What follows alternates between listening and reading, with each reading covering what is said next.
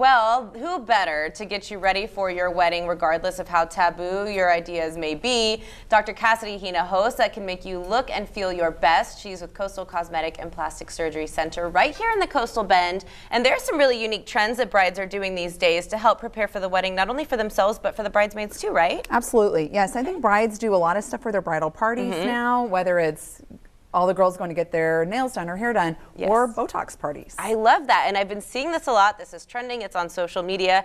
You can do a Botox party for any occasion. Maybe you and the girls just, you know, it's hard to get a mommy's night out, so right. you have the doctor come to you. But tell me more about Botox parties and what other things we can add to that experience. Yes, so we do Botox parties in our office. We host them either after hours or mm -hmm. on a mm-hmm. Saturday. And it's a great time for you to come with your girlfriends yes. and just kind of hang out, but yeah. also get your Botox done too. Uh -huh. uh, we try to make it really fun and lighthearted, have food, things of that nature. I and I think it. for bridal parties, it's a fun thing to give as a gift for your bridal party yes. if that's what you're wanting to do.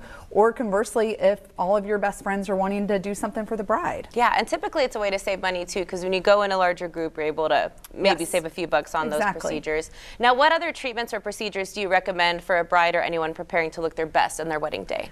So I would say, first of all, now's not the time to experiment. Yes. So, you know, I think if you are someone that's used to getting Botox or filler and you're wanting to do it before your wedding, that's great. But mm -hmm. I would mm-hmm. definitely give yourself about six weeks before. Yes, minimum. Um, you know, with any of those injections, always risk for bruising and swelling. Yep. With Botox, takes about a week before it starts to work. Mm -hmm. um, and so you want to make sure you've had enough time to kind of have it start working, but all the bruising's gone away before the big day. Absolutely. But again, if you're new to it, I would maybe wait until after the big day mm -hmm. or do it well enough in advance to see if it's something that you like and then maybe get a touch up right before the day of the wedding. Okay, so Botox and fillers for sure. Are there any other treatments or procedures that you found have become really popular for women preparing for the big day?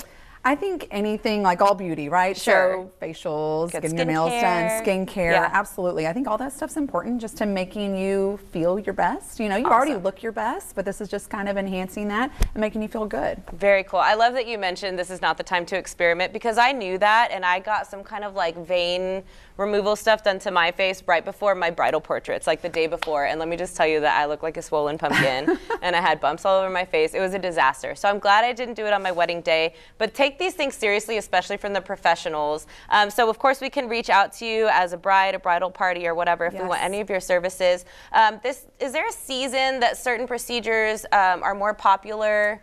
Because we're in or out of the sun or things like yes. that? Yes, you know, I think it kind of depends on what you're wanting. In terms of surgical procedures, mm -hmm. definitely summertime's a busy time for me. Yes. That's a lot uh, time when a lot of people are, are off work mm -hmm. or are planning for vacations. But again, just like when planning for a wedding or planning for any big event, you really want to give yourself enough time, right? So enough time to recover from whatever procedure that is, but also time to get on the schedule for whatever it is you're wanting. So yes. I have a lot of patients that come in, well, I want surgery next week. Well, that's a little Honey, bit. you can't even get a nail appointment in a week. How are they trying to get surgery? So plan ahead. Contact Dr. Cassidy Hinojosa at her office, Coastal Cosmetic Plastic Surgery Center, and get scheduled today for whatever it is you're needing. And if you're interested in the Botox party.